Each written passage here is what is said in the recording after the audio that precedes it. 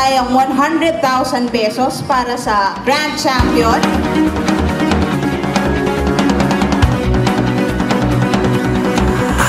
remember the moment I tried to forget. I lost myself. Is it better not said? Now I'm closer to. So 100,000, 75 at 50. Wow.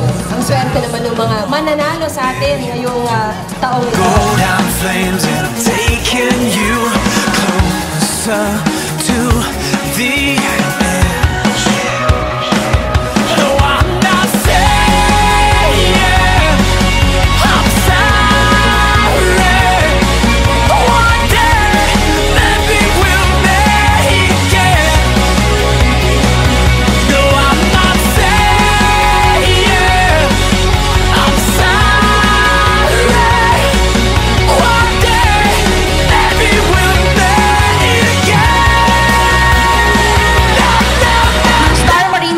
Complex kasi dito po gaganapin yung drills ng mga marching bands mamaya.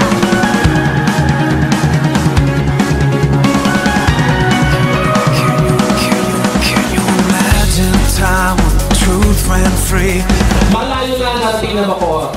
Kaya ako sa inyo pong lahat na dumalo dito, lalo-lalo na sa ating pong ah, mga sponsors. Ayan, sa mga sponsors po natin, pakipalakpakan po natin lahat sila.